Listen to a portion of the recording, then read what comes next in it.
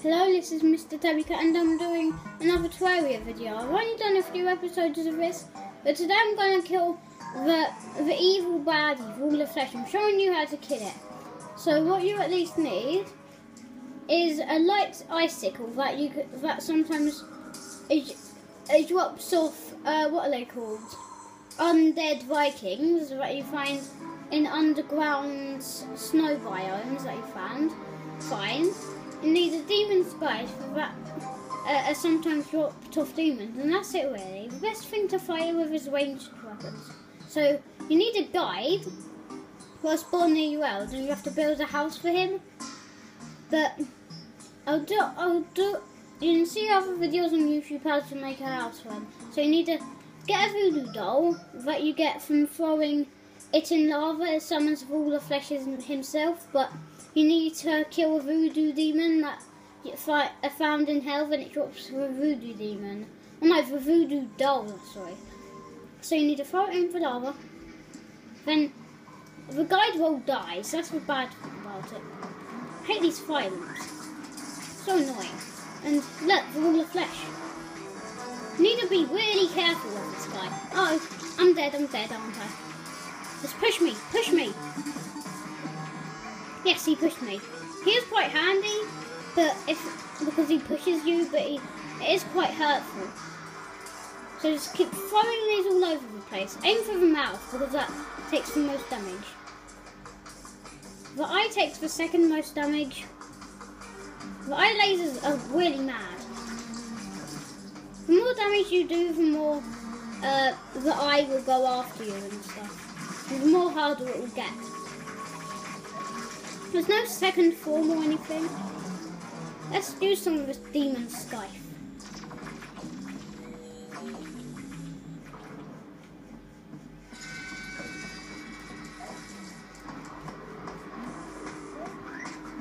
You keep after moving, be moving back. It's really tough this boss. Yes, mouth, it's right there. Yes, keep hitting the mouth. It keeps spitting out leeches. That's one really annoying thing.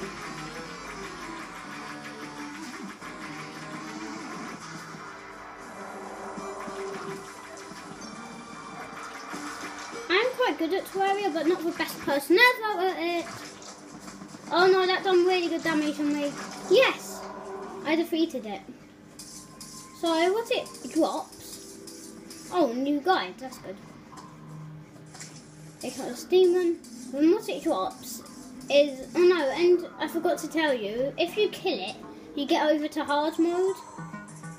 That is a new mode and it's quite hard. By the name, yeah. So I just need to take out these burn, bone serpents because these can be quite tough. What hat have I got on?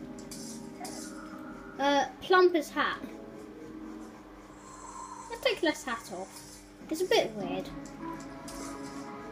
Take, let's take this Eskimo hat off. Quite weird.